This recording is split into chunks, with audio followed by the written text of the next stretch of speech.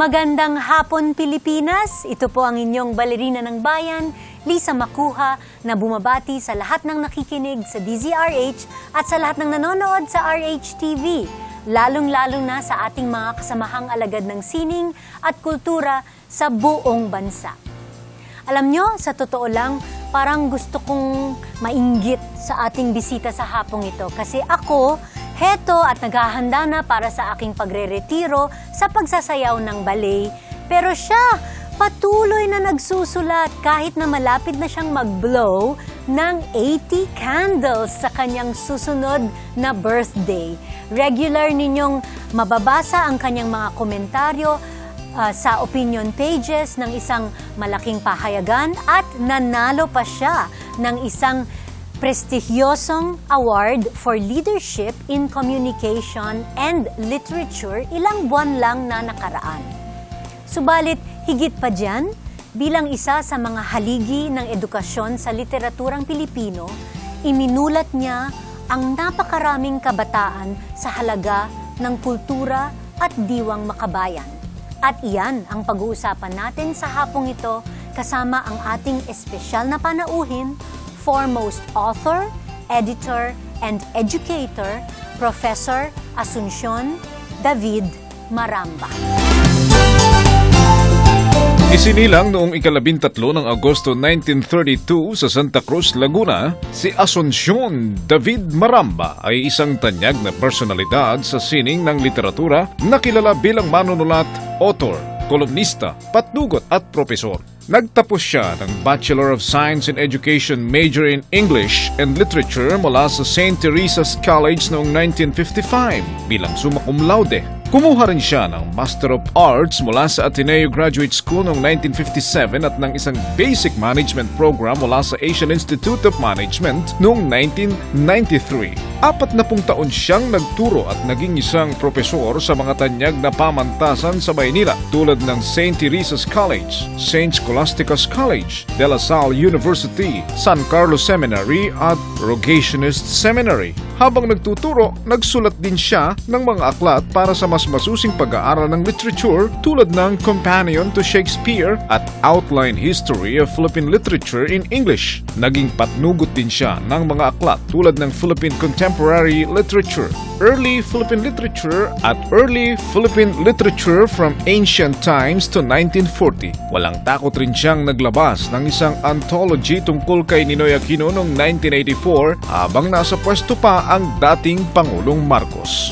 Patuloy siyang nagsusulat ng mga artikulo, pitak at sanaysay para sa iba't ibang pahayagan at magazine. Kadalasan ay tungkol sa mga paksang may kinalaman sa lipunan, kultura at simbahan. Kabilang sa mga nakamit niyang parangalay ang 1986 Catholic Mass Media Award for Best Feature Writer, ang 1992 Catholic Authors Award, ang Amazing Alumni Achievers Award mula sa Miriam College noong 2002 at ang Titus Brandsma Philippine Award for Leadership in Communication and Literature nitong nakaraang 2011. Ipinagmamalaki ng Art to Art ang makasama ang isa sa pinakarespetadong tagapagtaguyod ng literature education sa ating bansa, si Profesor Asuncion David Maramba. Magandang hapon po sa inyo, Professor Maramba, and welcome to Art to Art. It is an honor for us to have you here. Oh, it's my pleasure to. And I, um, I understand, uh, pareho po tayong alumni ng STC. Oo. Teresa. STC Manila, Manila, po. yes, oo. And uh, naging teacher ninyo ang, um, ay, nag, kayo po ang naging teacher ng aking nanay? Yes, Na si Susan Pacheco. Mhm, Hindi pagkakamalaan. Talaga. At ang aking tita Nelly. Yes, Naging that's right. din ninyo Also, sa. STC. Mhm. Wow. Um, sa apat na dekada po ng inyong pagtuturo, um, what was your greatest challenge po?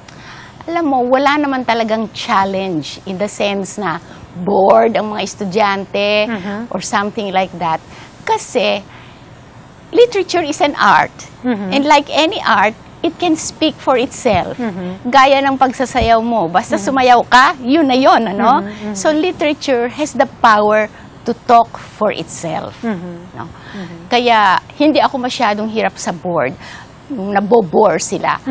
Nung first that 12 years ng pagtuturo ko, eh, ang challenge ko noon, kung matatawag mong challenge, is wala pang mga libro. So I had to put out a book kasi it's no way to teach literature na mga mimeograph copy, ano, mga Xerox or what. So nagkalibro ko, yun lang naman ang challenge. Tapos, ah, the next 15 years, again, ang mga estudyante were self-motivated. Kasi, for that time, sa time na yon lahat ng handle ko majors. Kaya hindi kailangan at ang ka, ang karamihan ng gawa namin at nila, kaming dalawa, is research. We really read for information. So, walang masyadong ano. Nung ano naman, nung ah, last dozen years of my teaching, bumalik ako sa basic literature sa mga seminarista. Doon, medyo madami-dami na akong ginagawa para sila ay maging, sabi mo nga, interested. O, meron, ang records tapos na noon. Nung sa STC ng maaga, nagdadala pa ako ng record, Shakespeare. Nitong bandang huli na, meron ng tape. So, we used to play sila Paul Simon, The Sounds of Silence, yung kina sino bang gumawa ng Eleanor Rigby, si John Lennon, may tape din. So to- after studying the poem, itutugtug namin pagkatapos kakanta kami. Enjoy na enjoy sila. So, naalala ko, inanalyze ko din yung Sound of Silence na yan sa oo. STC. Oo, yeah, yeah. Popular Okay. noon. Aha. At saka, after that, may Betamax na. Mhm. So, meron kaming ah, mga sa sine, yung mga To Kill a Mockingbird, si Bago, na ipapalabas ko sa kanila. So, it made them interested. At saka, nag-dramatization kami. Eh, ang mga seminarista pala, magagaling umakto. Aha, Very, okay. very, ano sila, innovative. Yun. It helped for for them to be interested nung ginagawa namin yun. I see. I see. Pero ang sabi nila, ah, no visual aid daw can replace a teacher. Yes. Although ngayon nagdududa na ako. Aha. Sapagkat ang dami-dami ng visual aid ngayon. May PowerPoint na ngayon. Yes, Hindi ko na inabot yung PowerPoint. kasi, kaya sa ko, ano nga kaya? Pwede na bang i-replace ang teacher o hindi pa? No, Oo. hindi pa. I, I Oo. don't think so. Kahit na Oo. gaano ka ganda yung PowerPoint mo, there's nothing Oo. like a live Well, I person na naman. charismatic po na nasa harap ng... Para, para, na rin, para na rin po kayong performer. Ah, talaga? Ah, at ang mga estudyante po ang inyong audience. Oo. um, speaking about your book po, kayo po Oo. yung unang, ah, kayo po yung sumulat ng unang aklat tungkol sa literaturang Pilipino, which which was your textbook on Philippine contemporary literature. Um, which has celebrated its 50th year and it's Almost, now oo. on its sixth edition. Oo, oo. Ah, pwede niyo po kaming bigyan ng isang quick lesson on the evolution of Philippine literature? Ay, una-una, Very quickly hindi po. ko naman sinulat yun, ano? Aha. Ginather ko maraming authors into a book. Okay. Oh, kasi ba, iba na yung kung ako sumulat. Ano? It's the Aha, authors aha. really. Aha. Editor lamang ako noon. Ang evolution ng Philippine literature is, ano yan eh, trilingual tayo eh. We have Philippine literature na isinulat sa mga vernacular. Ang pinaka pinaka popular ngang vernacular is what we call Tagalog ng araw na ngayon ata ay Pilipino na, minsan Filipino. At saka lahat ng mga mga regions may kani-kanilang dialect, may literatura yan. Yan ang pinakamaaga. Ah. When they started, hindi ko alam Aha. Kung since time immemorial yan. So yan ang isa, yung the vernaculars. Yan ang unang-una. Pagkatapos, a second language of Philippine literature was Spanish. Historically mo- naman, alam mo kung bakit. And then, a third language, of course, is English. English. Yeah. Oo. Now, ang buhay niyang sila, ang development niyan sila, yung in the vernaculars, hindi nga natin alam kung kailan nagsimula, no ha? At saka maaring hindi nakasulat ang karamihan, hindi written, oral lang yan. O- oral tradition Oo. po. Aha. There was a time nang pumasok na ang Kastila, nang pumasok ang Amerikano, ang mga vernacular medyo na naputol, Mm-hmm. na overshadow nitong foreign languages. Mm-hmm. At naging, malungkot nga, pero naging second language. Parang Yes. naging inferior literature. Mm-hmm. No, ha? So, medyo na para sila. Mm-hmm. Pasok ang mga Kastila, so we had a big body of literature in Spanish. Spanish. Pero yan, tapos na. Yan ang nag, nagkaroon ng hangganan. Mm-hmm. It's, uh, sabi nila, literature in Spanish, Philippine literature in Spanish is already finished. Yes, halos, halos wala na Mm-hmm. Oo, pong nag-aaral ng na yun. Espanyol ngayon. Ano. Tapos yung third, in the third language, pasok naman siya in the 1920s Hmm. in English. Yan ay patuloy din ngayon, hanggang Hmm. ngayon. At nung nationalistic period, nung medyo na-arouse ang tao, yung vernacular ay umangat na naman. Mhm. Kaya sa ngayon, ang Philippine ang li- Philippine literature, ang sabay na lumalakad are the vernaculars I see. the most popular being Filipino and English. Ang English, inevitable yan. Eh. Global na tayo eh. Yes. Ang Pilipino, syempre naman, medyo nationalistic na tayo, mas conscious tayo, kaya yan dalawang yan ang ano. So yon linguistically, that is uh, Philippine literature. Ang dami ng authors natin. Yes. Ang hindi natin alam ang authors, yung sa indigenous. Usually yan, author unknown. Spanish, alam natin kung sino sila. English, alam natin kung sino sila. At culturally, ang Philippine literature, maraming laman. Maraming strains. May Malaysian, na, na, na touch tayong lahat nun. May Chinese influence, may Indian, may Spanish, may American of Yes. course, pasok pang European, Aha. at saka meron diyang tribal, Aha. may indigenous, may de- ang huling-huli ay democratic, may Christian, malakas din ang influence ng Christian. So that briefly is the evolution of Okay. Philippine literature. And in this evolution, sino-sino po ang inyong mga paboritong mga authors? Ah, paborito, no? Yes. Ha? Not necessarily the greatest. no, Not necessarily the greatest. Ako, Personally po. personally, si Joaquin, Nick Joaquin. Sa akin, world class si Nick Joaquin, ano? At si Rizal. Ako din, believe kay Rizal. Ngayon, si, ah, si Bienvenido Santos also. Shonil Jose, mga favorite ko yan. At kung napapansin mo, and I have to sort of apologize for it, they're all writers in English. In English, no? yes. Except Rizal who wrote in Spanish, but translated na siya sa English. Kasi nga, ako, laki sa panahon ng Amerikano. Commonwealth baby kami eh. Yes. Kaya, kakasalita ako, of course naman, ano? Pero hindi ako makabasa. Talagang, hin- talagang ano yun, hirap na hirap A- ako. alam ko nung lumalaki kayo, Oo. ah, parang may fine pa ata na one Ay, centavo kab- May pag nagsalita pa, ka ng. Tagalog. American. Kung hindi talagang, kung hindi nabaliktad yung nagkaroon ng nationalist ferment sa atin, Yes. Aha. aba, ay talagang Americanized. Pati ba naman ang spelling ng father ko, ang, ang tatay ko, Tomas. Mhm. Naging Abay. Thomas Oo, po. oo, ang spelling ko, Thomas. Ang, Aha. Hoy, bakit yung anak mo ganyan ang spelling? Aba, to me, walang Tomas. It was really. Thomas, Yes, no? okay. Oo. Marami pa po tayong pag-uusapan. Ah, kasama ang tanyag na manunulat at literary educator na si Professor Asuncion David Maramba. Dito pa rin sa Art to Art, magbabalik po kami pagkatapos ng ilang paalala. Programang hatid ay sining at kulturang para sa lahat. Magbabalik ang Art to Art. Schedule ng mga inaabangang konsyerto. Update sa mga magagandang panoorin sa mga tanghalan at teatro. Narito na ang Art to Art Calendar.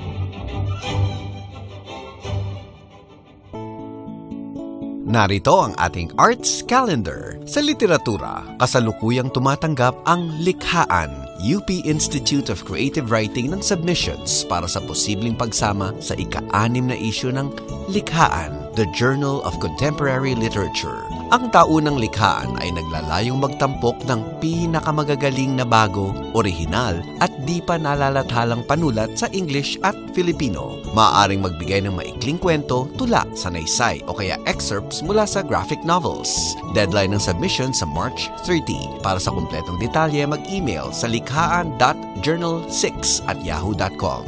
Kasalukuyan namang tumatanggap ang Philippine Board on Books for Young People ng mga entries para sa 2012 PBBY Alcala Prize. Ang mga nagnanais na lumahok ay kailangang gumawa ng mga larawan base sa kwentong nagwagi sa 2012 PBBY Salanga Prize. Ang Anong Gupit Natin Ngayon na sinulat ni Russell Molina. Ang mananalo ay tatanggap ng cash prize na 25,000 pesos, gold medal at ang pagkakataon na mailathala ang kanilang obra. Deadline ng submission sa February 24, iaanunsyo ang mga mananalo sa March 30, 2012. Samantalang ibibigay naman ang premyo sa National Children's Book Day sa July 17. Para sa kumpletong detalye, tumawag sa PBBY sa 352-6765 Local 203 o mag-email sa pbby at adarna.com.ph. Sa musika, inihahandog ng Cultural Center of the Philippines ang 2012 Philippine International Guitar Festival and Competition mula January 26 hanggang January 29. Tampok ang mga gitaristang Pilipino at banyaga sa mga konsyerto at ang mga master classes. Kabilang dito sina Jacob Cordover ng Australia, Jen Matsuda at Tomonori Arai ng Japan at sina Monching Carpio, EJ Pichay at Erskine Basilio ng Pilipinas. Isang lecture demonstration tungkol sa classical guitar music ang isasagawa ni Maestro Jose Valdez. Bukas ang patimpalak sa lahat ng guitar enthusiasts, anuman ang edad at nationality. Kabilang sa mga premyo ay ang Yuichi Imai Limited Model Guitar, cash prize na 35,000 pesos at konsyerto sa Pilipinas sa 2013 at sa Thailand ngayong taon. Para sa ticket, tumawag sa CCP box office at 8323704 o sa Ticket World at 891-9999. Maaari ring bumisita sa website na philippineguitarfestival.com para sa karagdagang impormasyon. Samantala, tampok naman ang batikang Japanese trombonist na si Takahiro Ono sa konsyerto ng Philippine Philharmonic Orchestra sa January 20 alas 8 ng gabi sa tanghalang ni Canor Abilardo ng Cultural Center of the Philippines sa ilalim ng baton ni PPO Music Director Olivier Ochanin. May diskwento sa ticket prices para sa mga estudyante, senior citizen at mga grupo. Para sa mga katanungan, tumawag sa CCP Marketing Department at 832-1125 Local 1806, CCP Box Office at 832-3704 o kaya sa Ticket World at 891-9999. Usapang sining at kultura para sa lahat. Kasama ang balerina ng bayan, si Lisa Makuha. Art to Art. Kasama pa rin po natin ang premyadong manunulat, kolumnista at guro na si Professor Asuncion David Maramba. Professor Maramba, you will be celebrating your 80th birthday this year. Pero sa tingin namin eh, you are really uh, not thinking of retiring. So, what keeps you busy po? Nako, nagbibiro ka ba? I am retiring. I am retired. You're Oo. retired. Oo, oh, I I mean to say, hindi na ako nag... uh, Pero nagsusulat pa po kayo, Yes, yun, nagsusulat. nagsusulat pa ako. Yes. Kaya sabi mo, what keeps me busy, Mhm. ayun, nagbabasa pa ako. As Mm-hmm. long as my eyes permit at nagsusulat pa ako. Mm-hmm. It does take much of my time, pero bihira na yun. Mhm. Bihira na. Mm-hmm. At saka, what keeps me busy, I do not, alam mo, may desk work ako kasi may cubicle ako sa bahay ko, Mhm. na yun ang kingdom ko. Mhm. I'm at rest there Mhm. at ah, lahat ng lahat ng mga papelis ko na ando doon, nobody can touch that except myself. Mhm. Eh, pero yung aking mga dating ginagawa, hindi na ginagawa. But I spend around 3 to 4 hours on my desk every day. Mhm. I have a few meetings that I attend to. Mhm. Meron akong ballroom dancing. Wow! Pero once a week lang. Pero lahat kami doon ay low bat, low Aha, bat. aha, aha. At saka, I lunch now with friends. Okay. Something that uh, I hardly did before. Aha. Kaya, busy. Funny, it's uh, busy. Mm-hmm. Pero, as far as the profession is concerned, ayoko na ng deadline. Mhm. At saka, ayoko, ako'y nasa plateau. I'm really in a plateau. Mhm. Ewan ko kung kailan bababa na, but I'm I'm there. Mhm. Kaya I am thinking of retiring. At saka kahit nagustuhin mo naman, hindi na kaya eh. Mabagal na eh. Mhm. Everything. Tsaka masakit na, no? Ah, masakit, oo. Oo. I'm Oo. speaking for myself Oh, po. talaga.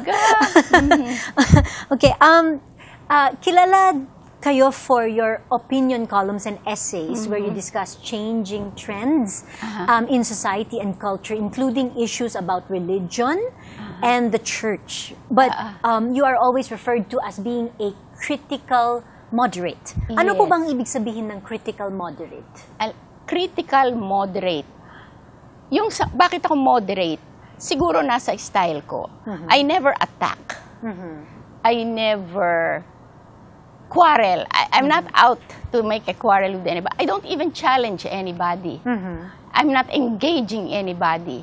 I'm usually very mild and as simple as possible. So maybe yun ang moderate ko, I no, see. ha? Aha. Ngayon yung critical talagang namumuna ako. Nagpupuna. Pero kung baga sa ano, hindi hindi suntok, kundi kurot lamang. I just tweet. Something like that. But I do, I do, uh, mm, ayokong gamitin ang criticize eh, but I do comment on certain things, as you say, on the church. Pero sa puntong ito, gusto kong magkaroon ng isang distinction, ano? Yung tinatawag nilang mystical church on the on the mysteries of the church, yung central truths natin, hindi ko yun ginagalaw. Non-negotiable yun eh, no, ha? Ang akin lamang pinag-uusapan is what we call the institutional church. By which I mean the human side, the governance, yun lamang. Yes. Aha. At saka anything na sa tingin ko ay kaya naman ng ating reason at kaya ng kung anong nakikita natin, yun, pinupuna ko yun. So, Okay. in that sense, I am critical. Aha. At saka, I, I usually do not look just at the event. Palaging titingnan ko yung implications sa ilalim. I see. Like for example, inalis na ang limbo, wala na tayong limbo daw. Then I said, what are the implications under such a recall by the church? Yung ganon. Okay. Oo. Okay. So, Aside critical. from yung inyong mga inilathala tungkol sa simbahan, meron din kayong mga ah, mo- ah, tinalakay sa inyong aklat tungkol sa mga modern day Filipino Oo, heroes. yes, yes. Um, what was your purpose for doing this? Ang purpose ko, kasi talaga namang kulang na kulang tayo ng role model. Isa, yon ano ha? Walang laban ang heroes natin sa artista. Walang kalaban-laban talaga, ano, sa kabataan. Kailangan natin. Ikalawa, sa tingin ko naman dapat silang makilala, ano? Kasi ang dami na natin after Rizal. Although si Rizal, I almost adore Rizal, no ha? Pero there are waves of heroes Yes, after. after, Kaya gusto aha. ko naman silang makilala. Kaya ako inilabas yung tatlong, tatlong aklat yun. on W- such- What defines a modern day hero for you? Alam mo, ang isa ay dapat, dapat in, on, connected sa time. Connected sa issues. Modern day hero, ano ha? At saka, alam din niya ang nakaraan, the past history of the country, alam din niya. And then, of course, he has to do something extraordinary, even out of the ordinary. Kasi ang, ang gusto kong ano, hindi naman kailangang mamatay siya eh. To me, a hero does not need to die Yes. for. Does not need to be a martyr. No, he does not need to be, although we have martyrs na nga, ano ha?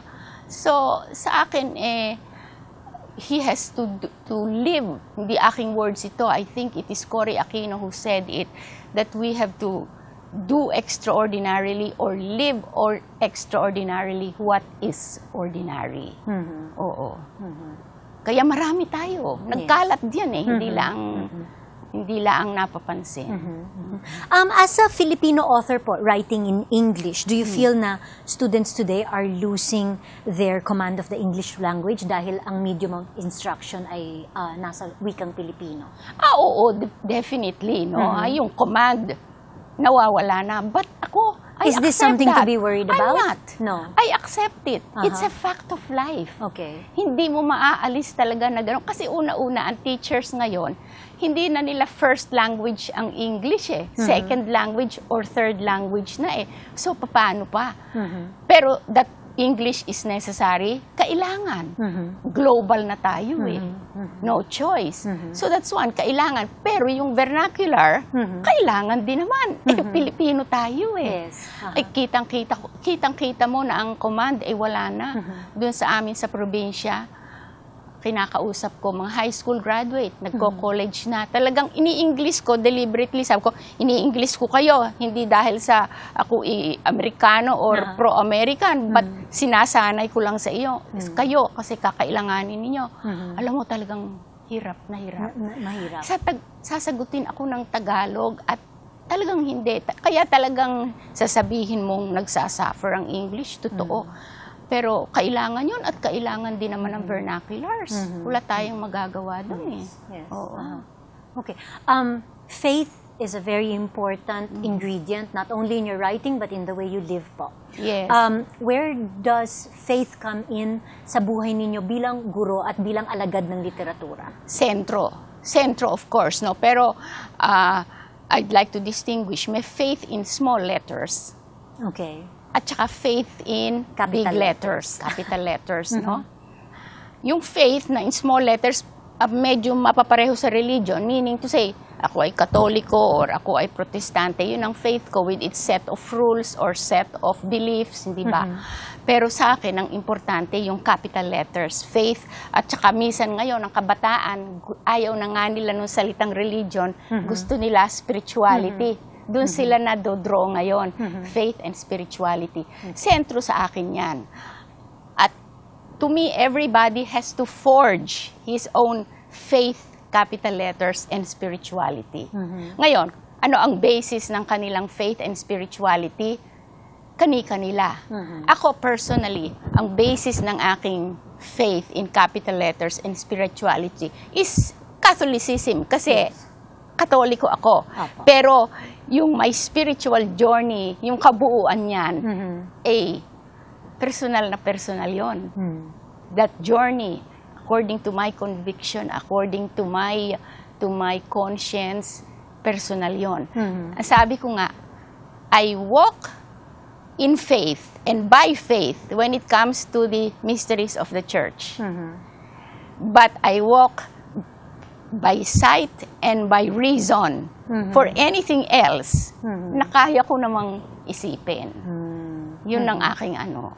That is how. Pero it's very important. Okay. And to make this spiritual journey po in faith, uh, um, would that be your main advice to yung mga batang manunulat na gustong ma- marating ang inyong staying power in the Hindi in din the naman eh. profession? Hindi mo sila makukuha ng ganung nasasabihin mo. Ay, make that the center of your life. Hindi eh. Aha. So They ano ang magiging payo ninyo sa mga ma- mga Ako? kabataan na manunulat na you know, nais maging isang Professor Maramba? Ay, nako, to each his own, they will be better. They, ganun naman palagi eh.